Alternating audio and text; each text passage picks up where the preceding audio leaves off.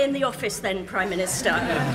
I would also want to share the condolences for the tragic events in the beautiful city of Strasbourg.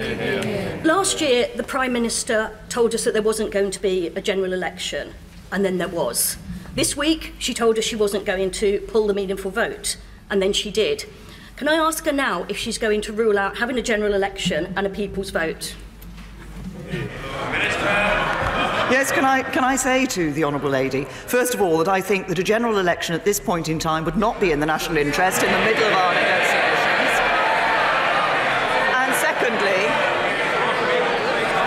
and secondly, and secondly, as she will have heard me say before in this House, I think we should respect the result of the referendum that took place in 2016. Nigel Mills! Given what we could call uncertainty about the future of the withdrawal agreement, could the Prime Minister give people some certainty, that's EU nationals in the UK, that whatever happens to that deal, they will be allowed to stay on roughly the same terms as are in that draft agreement?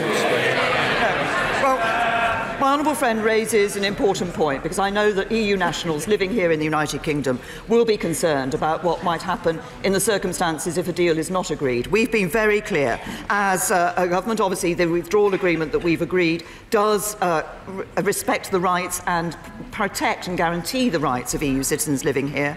But in the unlikely event of no deal, I've been clear that this government will still protect EU citizens' rights, and we would wish to, we wish to know would wish to know that actually other uh, EU governments would respect the rights of UK citizens living in the EU as well.